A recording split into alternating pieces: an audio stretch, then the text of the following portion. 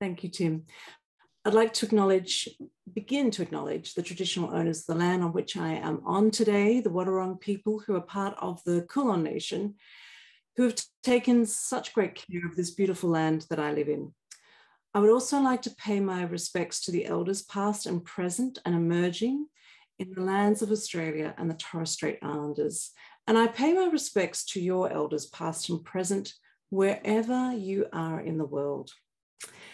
So today, very briefly, uh, what, uh, what today is going to be about is Tim is going to share his, his journey, his st story, his experience, his powerful experience with both flood and fire.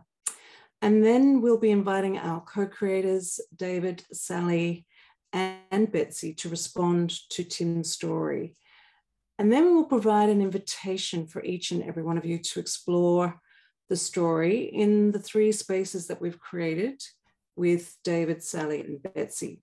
So David will be exploring in his space liminal spaces. So there's an invitation to go into David's breakout room to explore that. And then with Sally, it's, ex it's examining climate consciousness and having a, a conversation and Betsy will be inviting discomfort and impactful communication in her space. And then we'll come back together to unpack what, what was learned, what was experienced, what's important here. So I'm going to now invite each of our wonderful co-creators to introduce themselves very briefly. So first of all, I'd like to hand over to Betsy. Betsy, if you'd like to share very briefly with the, the people here who you are.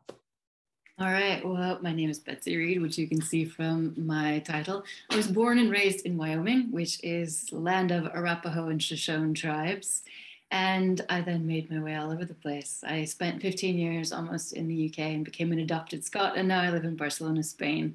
But my entire focus for all of my career has been on social and environmental issues. So I now call myself, because there are so many things I could call myself, probably as with many of you, a leadership mentor and sustainability expert. And I've written a book, but I'm also a yoga and meditation teacher, and I teach yin yoga. And that has helped me to sort of market, test, and hone my obsession with discomfort and the productive value of discomfort in conversations, in how we live, in how we actually have a positive impact on the world around us. So that is going to form a lot of the focus in my breakout room today, which obviously will be co created with those of you who choose to be there.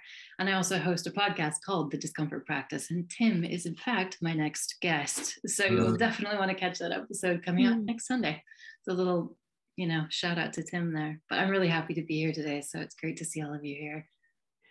Welcome, Betsy. And, and thank you for being here so late as well, over where you are. So we appreciate you being here. And so, Sally, I'd love you to introduce yourself to the group, please. Thank you. Hello, everyone. I'm Sally Gillespie, and I'm honoured to be here today. And not many people get me up at 4:30 in the morning, but Tim and the Climate Coaching Alliance are definitely those people. And um, so I'm very happy to be here today. I hail from Aotearoa, New Zealand, and now live on Gadigal and Wangal country in Sydney, Australia. I once was a psychotherapist, a Jungian psychotherapist, but the pull to, mm. to, come into the greater world out, out of the clinical room became too much. I did a PhD on the psychological experience of ongoing climate engagement and wrote a book called Climate Crisis and Consciousness. And I don't really know what to call myself these days, except mm. um, uh, mm. someone who is very much committed to working in community. Um, with others to meet the uh, crisis we're in. And yeah, CCA is one of my favorite communities. Mm. Thank you, Sally. And I, I resonate with what you shared about getting up at 4.30 a.m. in the morning. I'm actually, you heard that I'm from the Wadawurrung country, but I'm also south of Melbourne in Point Lonsdale, Australia. So thank you, Sally, for sharing that. And of course, uh, likewise, very, very pleased to be here and also to be here with David Drake. And David, if mm. you could also introduce yourself. Thank you. Mm, I'd be happy to. So I live in Portland, Oregon in the Pacific Northwest of the US. Um, I'm most known as the founder of Narrative Coaching. I've been teaching that work for 20 years. Um, and we've now started a new body of work called integrative development, which takes the learning and development theory in narrative coaching and makes it scalable to any time, any place. Um, and a lot of that for me, going back to what you were saying, Betsy, a lot of the work I do, I, I want to pay homage to my family for its dysfunction. I'm not sure I would have created my work if I had a healthier family. Uh, but one of the things that I just observed from early in life that was very challenging for them was to uh, speak truthfully for themselves, and particularly around issues like grief or um, and so I just made a promise when I was quite young that uh, when I grew up, I was going to dedicate my life to help people have the conversations they otherwise might not have, but are yearning to have. Um, and so the work really now is uh, we're doing some pilots in schools and a couple of universities to begin to reimagine education and to liberate people to um, to learn uh, more quickly. And my topic around liminality comes from the narrative coaching work about life in between. And it's a space that's often quite unknown and many people avoid. And we're in this grand unknown in the Ukraine in Ukraine and in a lot of places in our life at the moment, like what what is going to happen and where do I how do I stand in this? How do I act in this? Who am I in this? Um, and my goal in life is to uh, transcend every silo I can and just be David. Mm. Beautiful, David. And uh, again, I really appreciate what you share. And uh, we are in interesting times. And so finding that narrative is, is really important. That voice to be able to speak up in all sorts of areas and, and places and discomfort, which I'm hearing Betsy and Sally are also um, wanting to be able to create that space too.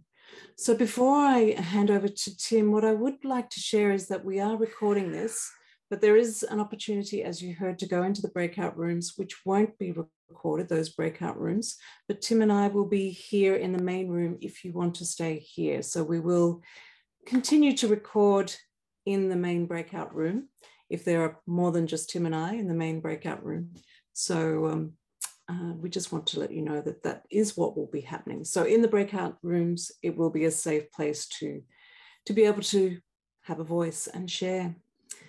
So I'd love to now hand over to Tim to introduce his story and uh, share his story. So once we once Tim has completed um, each of the co-creators will be responding to that. And you may have some questions for Tim, but if you can hold those questions until we all come back from the breakout rooms, and then there'll be an opportunity to ask questions and share. So, so Tim, my wonderful colleague and friend, over to you to share. Thank you. Thank you, Jeanine. Um, would you like to introduce yourself in 30 seconds or less, since you've admitted to do so thus far? I can do that very quickly. So, um, my name is Jeanine Bailey. I am, uh, again, based here in Australia. Uh, I have a, a, business where I train people to become coaches, professional coaches, which originally started in the Middle East, but now is global with the pandemic. So, and I guess, like others here in this space, it's all about supporting people to have a voice and to be able to really understand who they are at their core, their authentic self, and again to appreciate perhaps why they're here on this planet right here, right now. Um, and again, to be able to step into their purpose and their values. Uh, I too um, have been attracted to this wonderful place, community, which is the Climate Coaching Alliance, founded by Josie McLean, Eve Turner, uh, and the wonderful Alison Whybrow, who we lost recently. Uh, I am so, yeah, again, privileged and grateful to be in this space. It's um, such an important space. And, and of course, I'm also pleased to be have this wonderful connection with Tim. Uh, and we're doing some, some great work in the climate space yet to be yet to unfold. So delighted to be here. Thank you, Tim. Thank you. Thank you. Okay, everybody. Um, a couple of um, invitations as I prepare um, to share my journey with you and a story that I hold, although I do not consider it to be mine. I consider this to be the story of many people, particularly those that shared the experiences that I will narrate. But in this time, um, and particularly exactly at this time, um, and in places not very far from here, um, we are witnessing events and people are experiencing events comparable to some that I'll be describing. So I consider this to be a collective story, um, one that I hold, one of which there are many versions and many versions that have been lived, are being created right now, and will um, will be experienced. Some of um, what I'm going to share um, you may find emotionally stimulating. Uh, if you have had any experiences um, of grief recently, um, some of the elements of this story may be triggering for you. Um, and if you're in any anxious state um, as a result of your awareness of what is happening in our world and with our climate, then some of the experiences I describe may be triggering. Um, so, an invitation, if you find any of those um, emotions being stirred, um, is to sigh out loud, big bodily sigh, ah, which you may find will be a benefit in um, perhaps calming those emotions momentarily. Um, please do stay on the call uh, if you're happy and comfortable to do so, but do not feel obliged to stay. Um, but there will be space um, to ask questions, to respond, uh, and to be together um, in in the main room here and in the three breakout spaces. Um, so, there we go. So, with your blessing, I will begin um, sharing the journey that I am on. And this portion of it begins many years ago when, as a younger man, I traveled to an unknown, faraway land in search of adventure. And I found myself in the desert being guided by two indigenous men. And the three of us spent days wandering between local villages, um, meeting people that they knew uh, who always welcomed me with an open heart um, and an expansive mind. And it was the adventure that I sought. What shifted through the third day was very unexpected in the desert, in that it started to rain. Um, not particularly dramatic rain to someone who grew up in the UK, um, but to my companions who were similar in age to me in their mid 20s, they were really excited, almost childlike, um, and explained that they had never seen rain like this in their entire lives. And we changed our plans and, and we moved to make shelter uh, with one of the families that these two knew. Um, and the headman there was in a sim- similar age to where I stand now. He was in his mid 40s and he had seen rain once like this before as a child. And we spent some time sheltering uh, and then made the decision to take um, the ch- our chances with simply getting wet.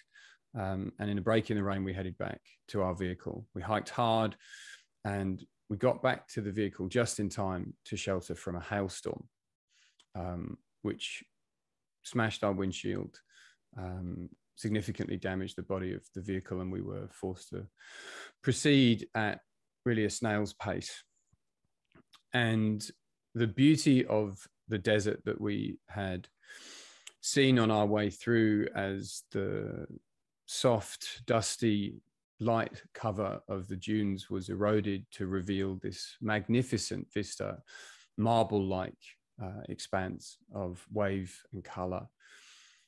As we sat in the vehicle with the a hail damaged vehicle um, with darkness descending around us, the contrast between that vista and what lay ahead of us could not have been more dramatic as we arrived shortly after nightfall in time to witness the very dramatic extent, the darkness and despair of a community that was being devastated by a flash flood.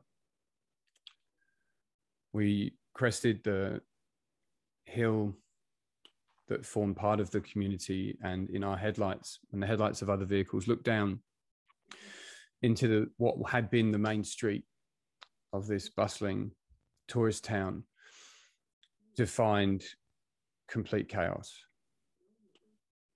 There was no early warning system in this part of the world. The water had arrived as a turgid wave, catching people unawares as they were sitting with their families having their evening meals, as they were putting their children to bed. By the time we arrived, many people had scrambled onto the roofs of their homes and the few people who were close enough to the higher ground, either to be on that high ground or to have been rescued by those who were able to reach them. But by the time we arrived, everybody else was basically where they would remain. And the image which is so most viscerally seared into my brain is watching a family of three generations sitting on the roof of their home about 30 meters away from where we were, sitting quite calmly. And over what I would estimate to be around 20, 30 minutes that we watched, they didn't cry out for help. They didn't panic.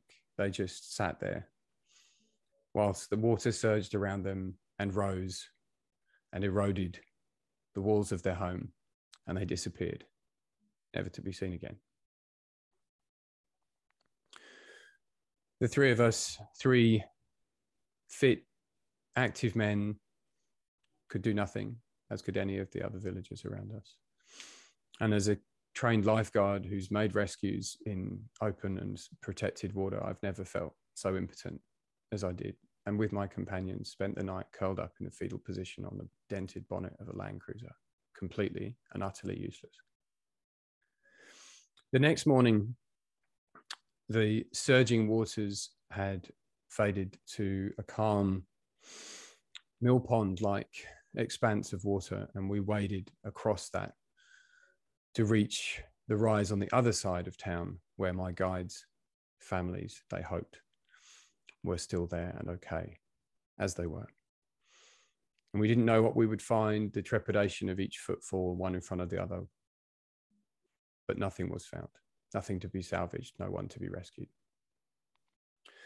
And as my guides headed off up the hill to find their families, I stayed looking out over the waters and found myself sitting alone in the company of an old man. And in a shared second language, he inquired to, as to my well being and about what I thought of what we had both seen the previous night. And after a few minutes of conversation, he stood up and beckoned me to follow him. And he walked a short distance and opened the door to a building and went inside, beckoning me to follow him, which I did. And as I arrived at the doorway of the building, I realized that it was a shop, that it was seemingly his business, an antiques business. And I confess that my first reaction was one of discussed that this was no time to be buying trinkets and souvenirs. And as the word, I started to form the words to say, I can't buy anything. I've given all the money that I have away already. He put his hand up to quiet me and he said, You're not here to buy anything. You're here so that you can receive something. And he picked this up and he extended his arm for me to take. And he said, I want you to have this and I want you to wear it. And as you do, I want you to remember what you've seen so that you'll know what to do. And he closed the door, and I never saw him again. So, what did I do? After everything that I had seen, what changed in me? And I'm confess I'm ashamed to say that what changed was not very much, and what I did was nothing. I got on a bus, I got on a plane, I went back to the country where I lived, and I did nothing. I watched people die right in front of me. I did nothing. Many years later, I was crouched on the roof of this building with a pink plastic drip hose in my hands, trying to thread it along the ridge line and protect our home from the raging front of the Currowan bushfire, which was one of many fires that was devastating lives, communities, and ecologies through Australia in the 2020 black fires. And we had been preparing our property for days. I was exhausted. This was the last thing I had to do before we fled for the second time in three days on a mandatory evacuation.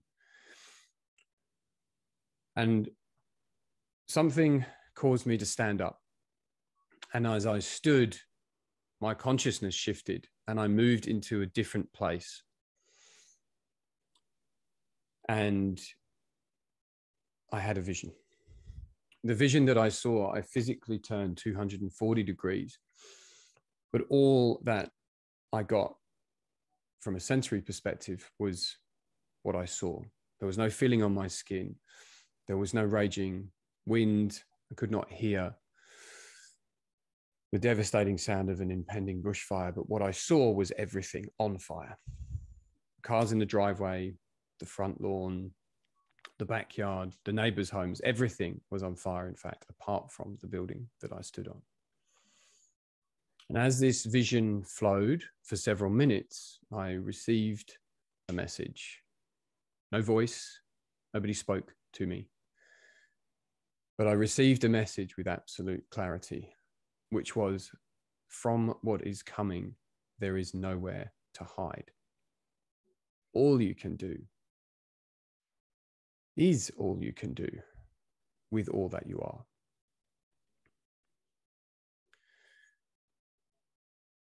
And this changed me. I got down off the roof, and from the moment I hit my feet hit the ground, I was a changed being.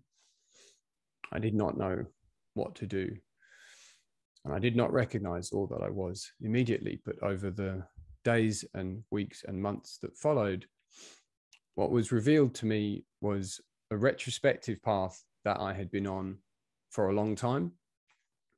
The vision of the flood that experience was rediscovered, having disassociated myself fully from it since its, occur- its occurrence.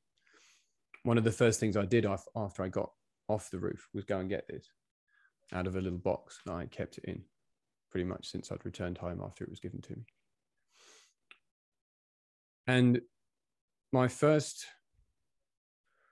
realization was that the shift I had made was in to witnessing a shift from wandering to actively witnessing the life that I was living and the journey that I was on.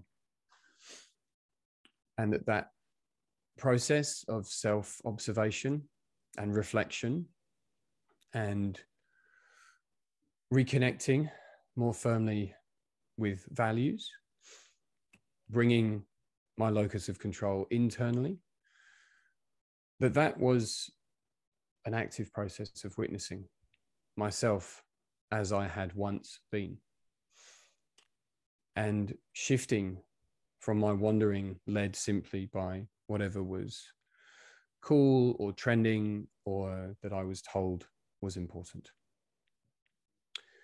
And where I believe I find myself now is in a cycle between active witnessing and wayfinding. Wayfinding being the conscious act of navigating an unknown space and choosing the direction to go. and perhaps enabling others to do the same. Beyond wayfinding, I believe there are a number of choices that we can make and other cycles that we can enter into. Um, but I won't speak more about those now. Um, some of what you're thinking and feeling and might be co created in the breakout spaces may indicate where you're at on this journey, whether these terms and frames do anything for you and what you might believe exists beyond witnessing and wayfinding. But thank you for being here. Thank you for your time and attention. I invite us now to just hold a minute silence of reflection. And then Jeanine will break that silence for us and invite our co creators to give the first response.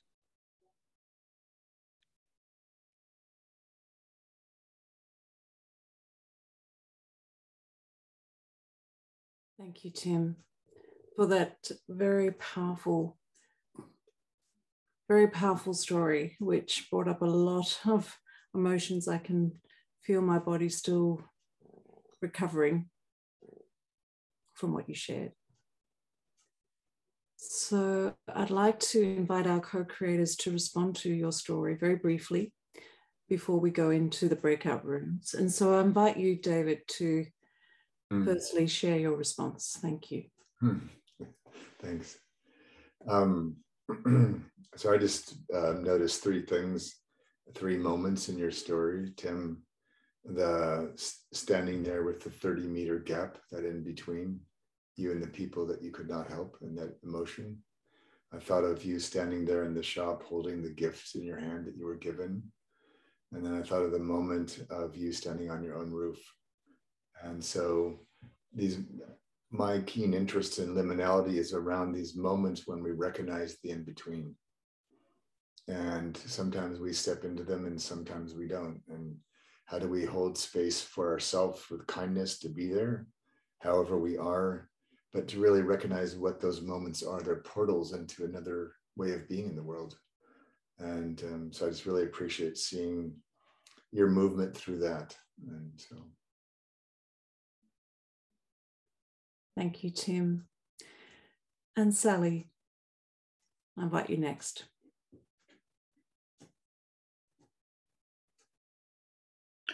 Thank you, Jeanine.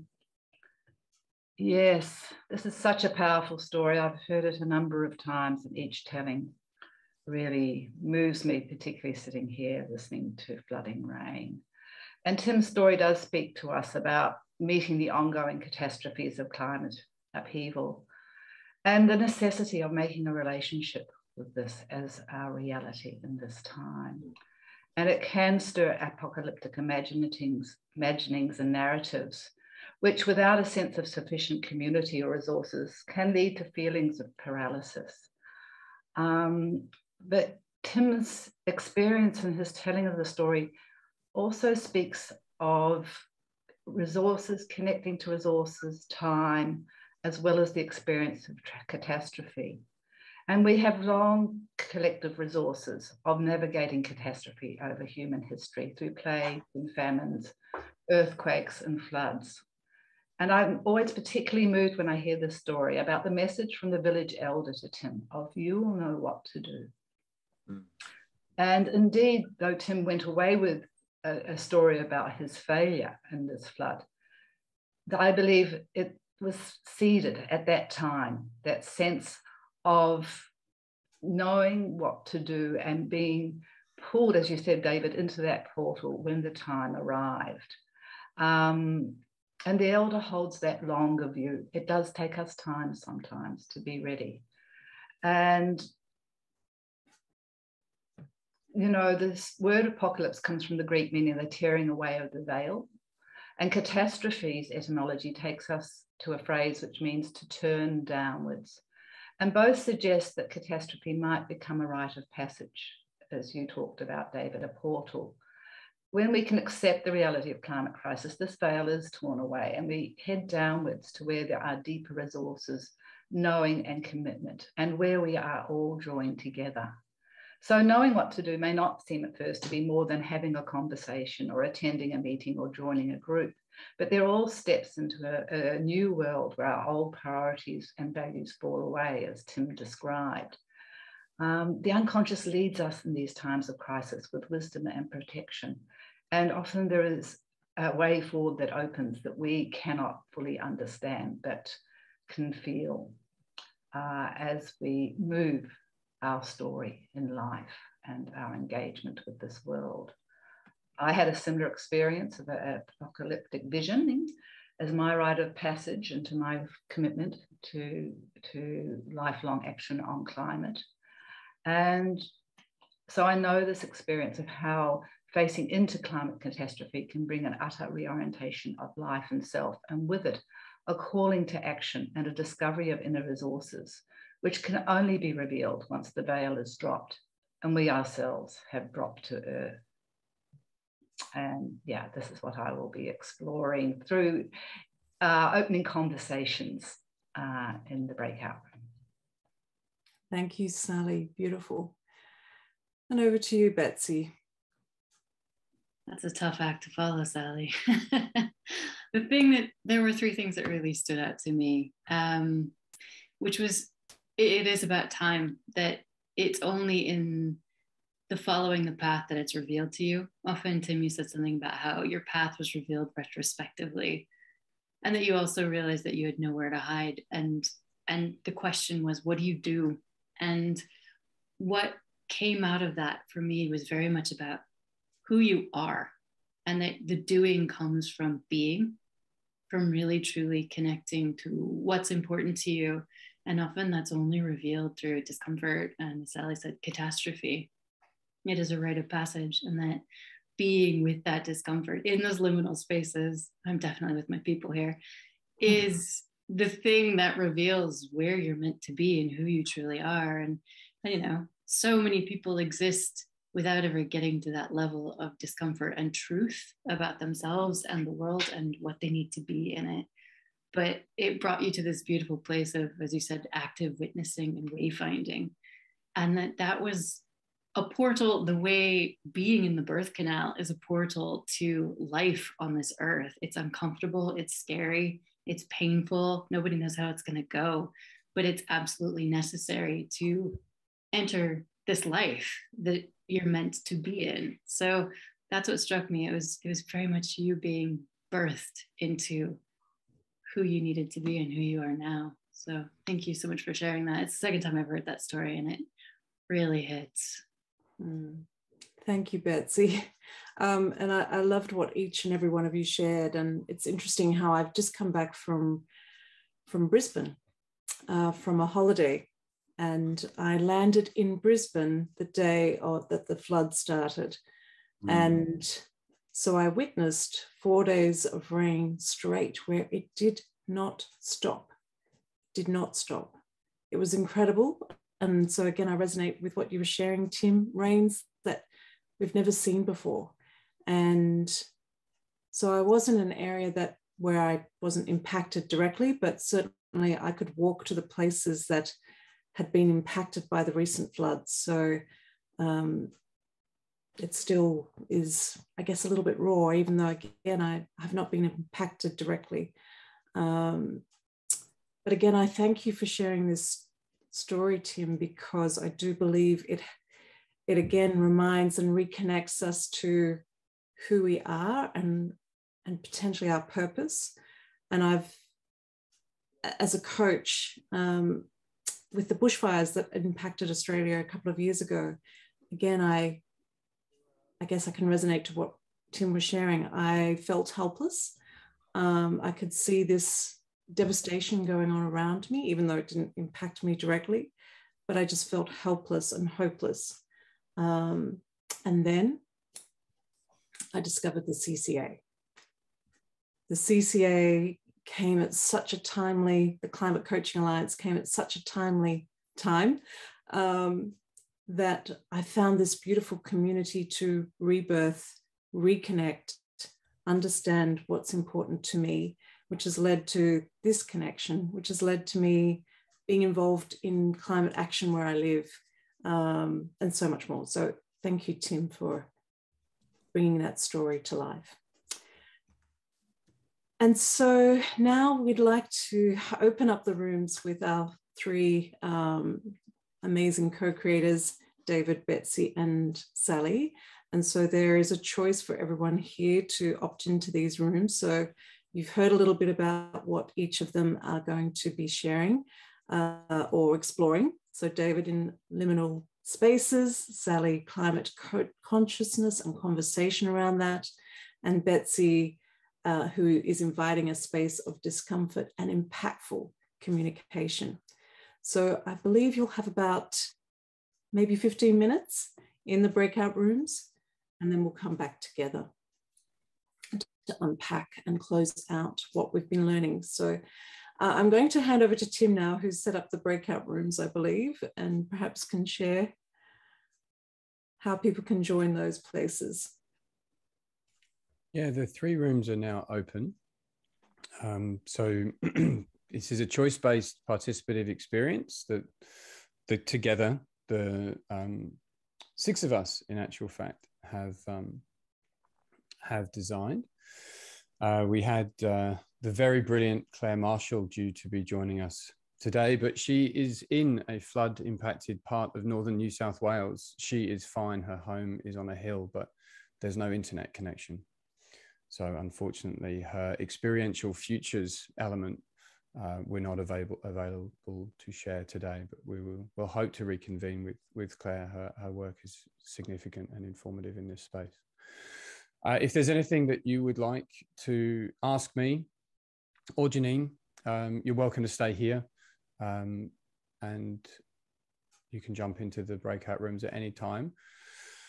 But uh, an invitation um, to you. Um, it's really early in the morning, and I don't have anywhere else to go directly after this session. So, if if you would, if you're holding a question for me, I would encourage you to go into one of the breakout rooms, whichever one calls you, and then you can express your question uh, if you have time after the hour session that we have booked here. Um, but if you need to go on the hour and you have a question, then please stay here and feel welcome to unmute and express it. Or if you'd rather not vocalize, then um, feel free to put something in the chat and uh, Jeanine or I can respond to it directly. But the, the rooms are open and underway, so feel free to go wherever you feel most you'd like to be. Welcome, welcome back, everybody. And we trust as you all stay there till the end of the timing, had a really beautiful conversation, powerful conversation with heart and meaning. Now we recognize we've only got three minutes till the top of the hour. So we do want to invite each of the co-creators to share briefly what unfolded or some closing thoughts.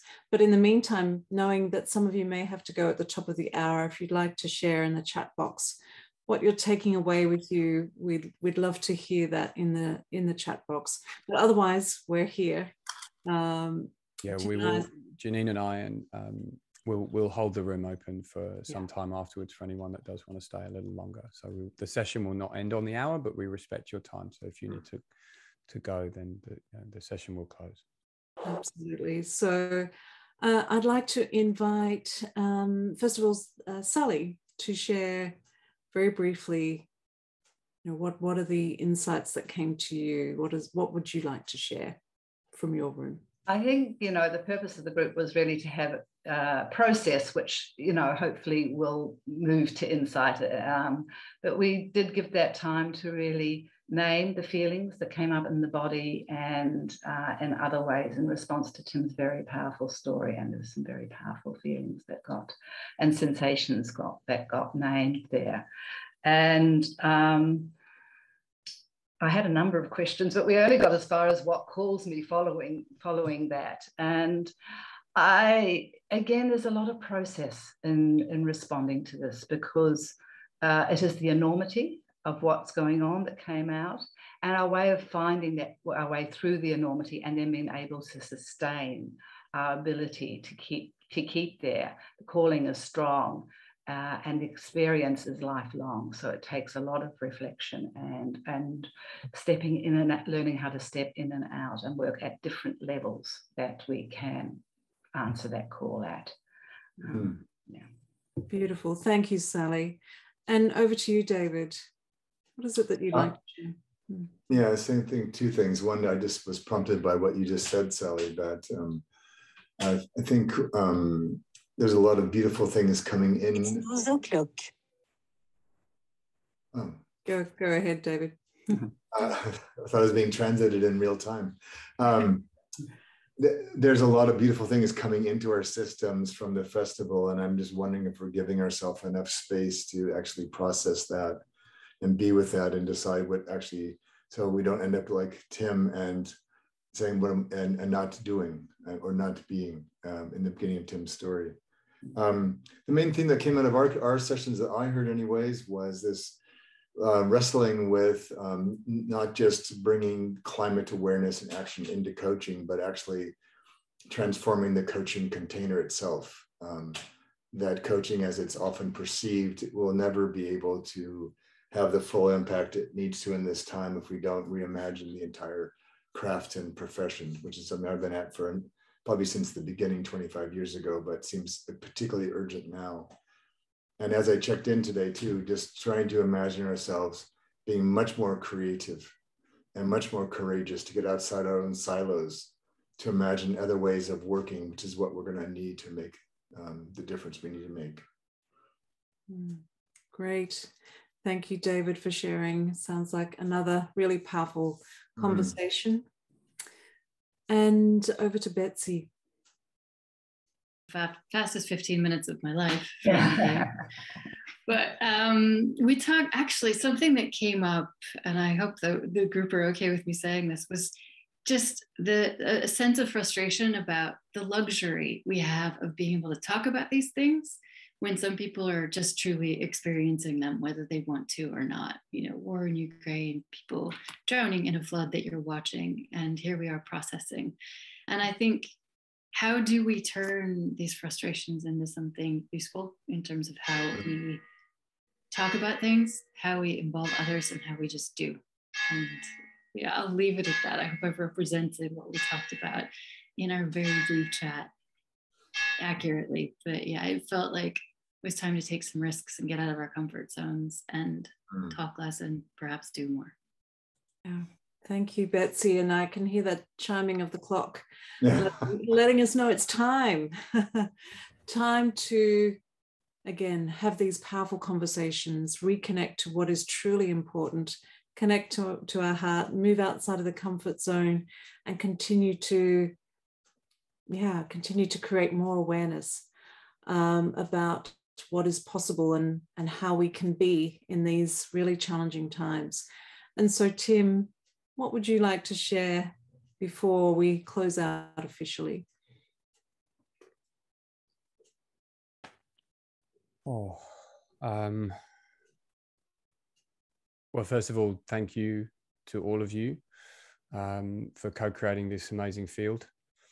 Um, it's one of the things about the CCA and the continuum that is created in in in these spaces. Uh, appreciating that many of you are not, I'm going to say yet, um, you know, active participants in Climate Coaching Alliance, but um, yeah, this this is this is what the CCA feels like. Right, this this is the this is the community um, that has been formed by these, drawn by the energy of these three wonderful women um, and others. So thank you all for being here. Um, I'm having quite a strong uh, embodied experience at the moment, particularly my chest um, and my feet, uh, which tells me that I am feeling my life and wanting to do things with it, um, which is great. What I would end with is, um, yeah, I think simply an invitation to, to you know, spend some time um, reflecting and um, acknowledging the space that we all need, acknowledging the privilege that that space will give you. Um, and that if that space is not comfortable, then that probably means you are where you're meant to be. Hmm. Yeah. Beautiful, Tim. I wish you well. thank you. Thank you so much, Tim, again for really sharing that powerful story or stories, that narrative which I I trust has touched each and every one of us um, at a really heart body based level and our beautiful mind. So thank you for inspiring us to potentially be reawakened or um, identify new ways of being and doing. Um, really, truly appreciate how you're showing up so courageously. And again, a big thank you to everyone who is here today, our co creators, our amazing co creators who've held the space as well to support powerful conversations, and for each and every one of you for showing up today so beautifully. And um, and again, Josie, thank you. I I recognize that this has been a long festival for you, so thank you for being the inspirer and making this happen. It really is a beautiful legacy that you have created with Eve and Alison, beautiful Alison, um, who we know is here, we trust is here. So again, as Tim said, we are here. We, we have time for those who want to perhaps ask questions, perhaps share insights. We are around. So again, thank you each and every one of you for making this a beautiful session. Thank and you. See, uh, thanks again. And I see Stuart maybe have a question or, or a wave. Mm. Thank you. That's a wave. That's a wave goodbye. Thank you. Why do I feel this need to want to go to church? I don't know, Betsy. Is it the best? I've been living here for five and a half years and it still hasn't gotten me to church. I, I must have greater resistance than you. Tom. This is Thank a different I- kind of church, Tom. Yeah. Bye. Thank you. Bye bye, Karen. Thanks, Karen. Can I ask Great a question? Uh, Can I ask go. a question, Tim? Yes, Paula. Just very quickly, I don't want to take up your time, but um, I'm curious about what happened to you after you saw what you saw and the flood. What what was it about that that didn't quite turn it around for you? Uh, The reason I'm asking the question is because I suppose one of my questions I have is what exactly has to happen for us to wake up? And and there you were, right in front of, you know, um, I'm- I was going to say the burning platform, but you know, the flooded valley, whatever it was, it was right there. People died right in front of you, right? And and you went back home, and what you said was nothing changed. And I'm kind of curious about what happened to you that nothing changed. Yeah, Thank you for the question. Um, and I, just to remind you that for your own um, privacy, we're still recording the session, if that's okay. Um, if you'd prefer us to remove that um, from the record, as it were, Paula, we can do so. But I'm assuming you, we have your consent to continue, and I'm happy for my response to be on the record. So, um, yeah, two. Th- well, a number of things happened, right? So, first of all, this is uh, I have now been um, informed by various people. This is what's known as vicarious trauma. Um, so, not a direct threat to to your own life and being, but you know, a, a, proximate enough witnessing of one that you essentially sort of carry the the trauma directly. So, what is um, not uncommon is that you disassociate yourself from that experience. You essentially deny that um, you were there at a subconscious level and you do everything you can to enshrine it in a vault where it can't do you any harm as an experience right? Um, so that that's one thing which psychologically absolutely happened. Um, the next thing that happened was i went back to an unchanged world right?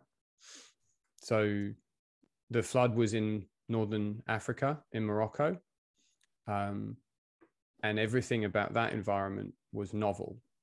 And then I got on a plane and I went back to Suffolk in the UK, which is lush and green and flat. And I went back to work, and nothing about that world in any way related or had any contextual relevance to the experience I'd had. So there was nothing there to give me any um, way of processing the experience. There was the only thing I carried, and I'll answer your question, Anthony, shortly, was this, right? Um, but I buried this metaphorically in a box. I put it away. I didn't touch it for years. Um, so there was there, there was a disconnect between the place where I experienced the flood and the place that I re-immersed myself into. Um, and I won't just say the sort of the nonchalant life took over, but the return to those externalized, externally originated values, um, you know, of vanity and money and frivolity, like all of those things, you know, are comfortable, right? And and you can, uh, yeah, you can wrap yourself up in those things very easily. Um, and the other thing that happened was when I did reach a point where I could share the experience, I started talking about it to people. Um, they had no framing for it. The friends, you know, the drinking buddies, um, you know, the other young people that I, uh, you know, was spending my time with then as a young person, like they didn't have any way of holding the space for me. So there wasn't anywhere for me to explore it. And I think a lot of the reason why my reaction to the pre traumatic stress hallucination um, was the people that I was then with. Uh, the place is what I consider now to be place that I'm custodian of. It is a home that my wife and I have created. Our kids are here. Uh, but it's also the fact that I'm immersed in a coaching organization. I've done a lot of internal work over the years to reassociate myself and internalize my values. Um, so it's been a long path. I don't know to respond directly to your last question. I don't know what anyone else could do.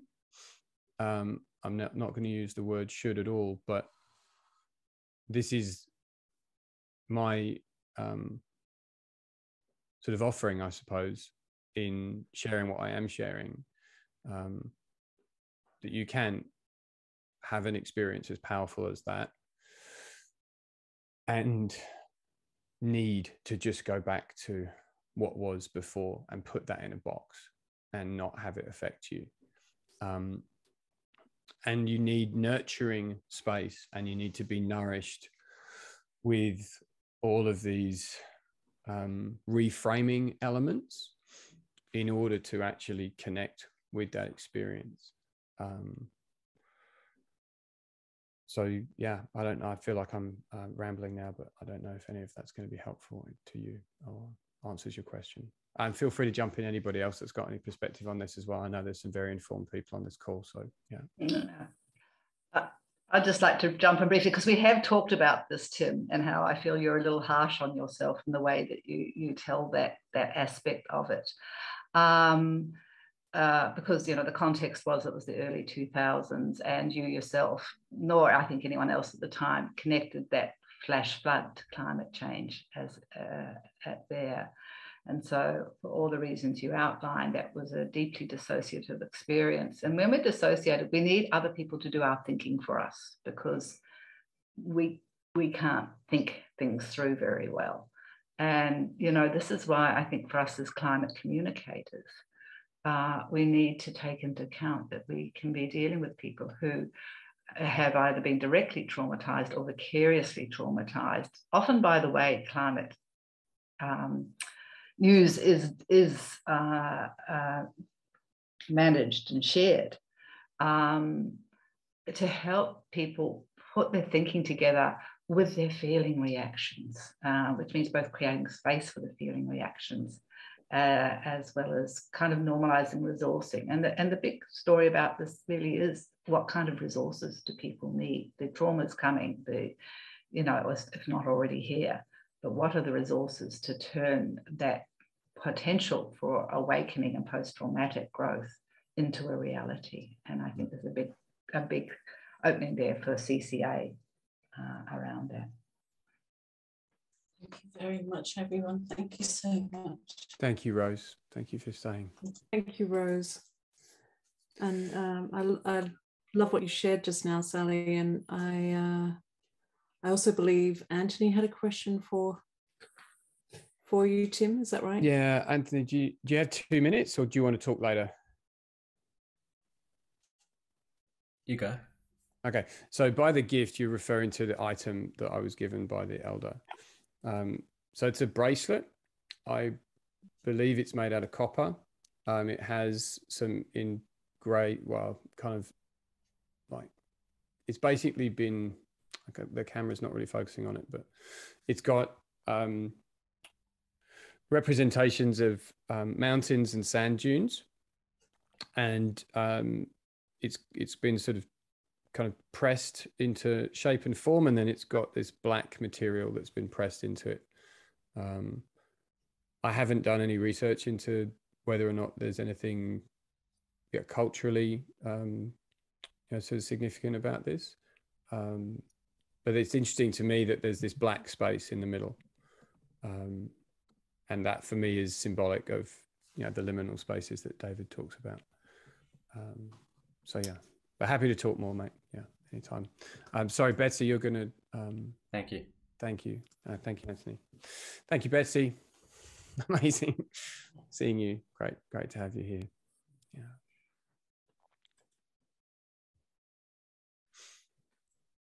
Thanks very much. Thank you, Paula. Thanks, Phil. Really Great to see you. Story. you. Irene, is there anything that you'd like to ask any of us?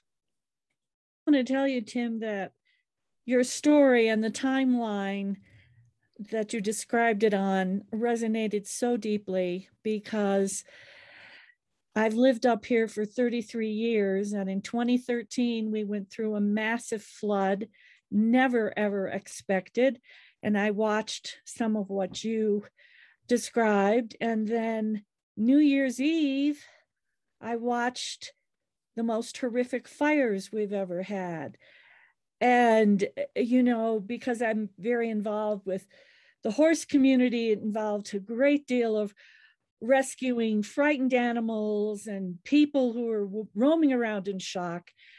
And you know at one point i thought i'm going to lose my mind i've had all those years of good jungian analysis but i'm going to lose my mind and one of the things i'm so grateful for is synchronistically finding this community hmm.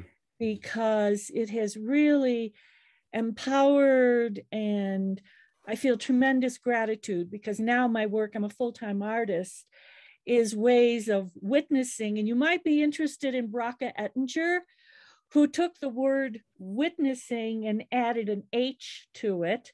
So hmm. it's witnessing.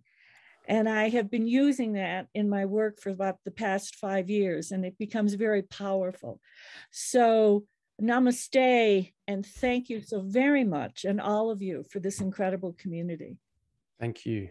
Thank you. Well, could could I ask you a favor? Could you put that person's name in the chat just so that I can? Um, oh, sure. Go and follow. Oh, sure. Also, um, I'll share with you. So it's great that um, that you're working, um, yeah, visually with with this. So, um, in terms of what what I'm trying to do um, with this, um, I'm working in collaboration with a painter and a poet, and the three of us are um, working towards forming a place-based social enterprise here to work with written, spoken, and visual expressions of the experiences that people have had in this region, which are primarily with fire and also with flood, um, in order to, yeah, primarily what we're focusing on is community cohesion. Um, like absolutely, there's an individual benefit and a, and a, and a processing, you know, in in that sort of nurturing space, but primarily, like, there's a lot of individual you know clinical and therapeutic practice we're trying to look at the sort of the collective um, experience. Wonderful. Yeah. That is wonderful. And so when you say up here, and assuming by your description you're in BC or um, somewhere else on West Coast Canada? Uh, no, no, I'm in Boulder, Colorado, Oh, Colorado. Okay. and I live at 9,000 feet in the mountains, surrounded by national forest land. Yeah, beautiful. So it's, uh, we also live with that interface of liminal space of fire danger. Yeah. And just listening to people and about the new ways of thinking of liminality, I thought living here in the middle of a forest is living in a liminal space continuously. Hmm. So work for me to do on my growth edge and how do I how do I continue to live here? You know, I would never leave it, but you pay a high price for the privilege. Yeah. Yeah, yeah, no. I And I will send you that right now. Thank you. Thank you. Yeah. Um, something else, I, I'm not, um, I hope, appropriating it, but there was a woman um, in the session who um, shared a, a project that she's working on in Canada that was, uh, um, but it's not, it's not uh, intended to be just locally in Canada, um, but essentially they're, they're um, working with um, climate uh, event survivors um, to work towards sharing their stories and they're trying to harness this as a network um, for that kind of space. So she's she's going to send me some details about what they're doing um, so if you would like um, i can ask if i assume it would be but i'll ask if it's okay for me to share it also with you if you would like put your email in the chat as well um, and, and and i can um, put you in touch with her um, after she sends me that, Wonderful. if you'd like to, if that's interesting. Yeah, right? wonderful. Thank you. Yeah, perfect.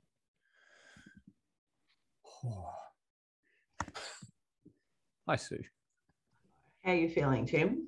I can't believe it's Monday morning. I'm good. I'm good. I feel better. I, was really um, emotional a little while ago, but I feel good now. Better now. Yeah. I I think we we all sense that, and there's been a lot of emotion on this call, which has been such. It's been such a privilege to share that. I mean, we. I think everybody's been feeling a lot and experiencing a lot this morning, but what an honour and a privilege to be able to be part of that and share that. Yeah. So thank you, everybody um, who's still here, and and yeah, um, thank you to those who, who have left the call too, because it was um, my goodness, um, such a set a, a privilege, and I and I know Tim, we've talked about you know what what's mine to do, and one of the things I wrote down earlier was what can I do that will make a difference, and it's just because I think sometimes we feel we need to do the big thing. And and I was you know I've been thinking about your story again and the other things that have been discussed this morning. And sometimes it's it's maybe it's lots of little things but it's Mm. something. It's doing something. And um and and I think just even if we don't quite know what that is.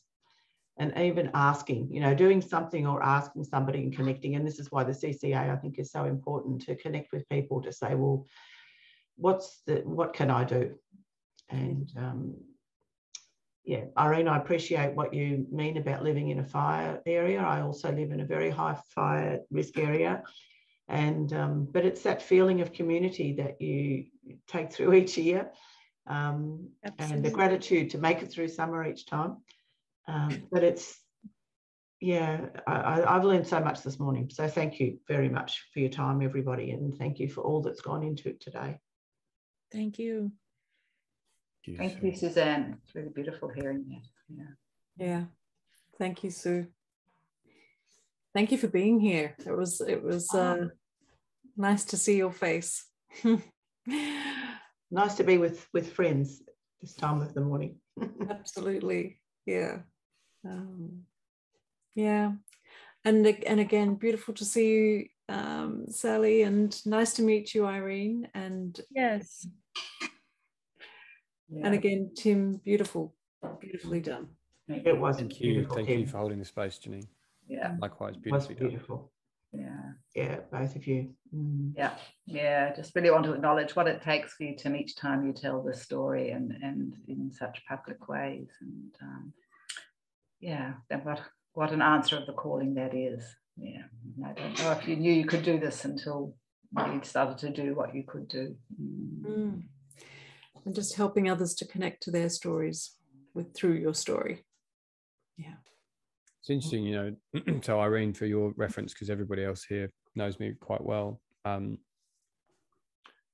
I started sharing this story it to more than one person at a time um, in I'm going to say August. I should know precisely, but more or less the middle of last year. And the first few occasions were in community here. Um, so the first time was really um, was at a joint exhibition of Nicole and Bonnie, poet and painter. Uh-huh. Right, and they they had done a, a series of sense making pieces where they'd gone together to a place in the region and then gone away and created their uh, written and painted piece and then brought them together for the first time in the exhibition. And they invited just kind of open mic people to come and share stories. So I checked in with Nicole first to make sure that this would be appropriate a story, and she'd heard part of it before.